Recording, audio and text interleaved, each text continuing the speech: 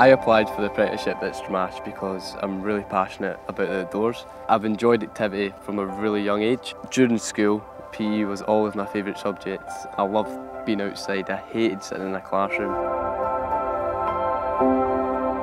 If I didn't apply for the apprenticeship at Stramash, I'd probably still be working in my dad's ice cream shop in the summer and in the winter I'll probably just be finding odd jobs to see me by. But nothing as exciting as what I'm doing now and I'm really grateful that I've got this job.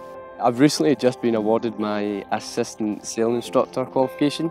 Uh, this allows me to take kids out sailing in a dinghy and just talk them through a bit of basic sailing. I've also been doing a lot of work to develop the Stramash outdoor learning sites. We've been doing all sorts of things like building fences and learning to use all sorts of different tools. I find that this helps me to understand how the organisation works behind the scenes. I really, really enjoy coasteering. I've been given a high responsibility in actually leading the sessions as I've been bouncing off the instructors, gaining their sort of knowledge and experience in this sport and I've developed myself. The difference this apprenticeship has made to me is amazing. I'm learning how to lead and work with groups and also finding out what outdoor education is really about. Also, it's helped me to develop as a person. It's given me different types of roles and responsibilities because you're working as a team. I've had a great time at Stramash so far and I'm really looking forward to the future. For anyone else that's looking to join Stramash, I'd highly recommend it. My name's Coll Mackenzie, I'm 18 years old and I'm currently an outdoor activity apprentice at Stramash.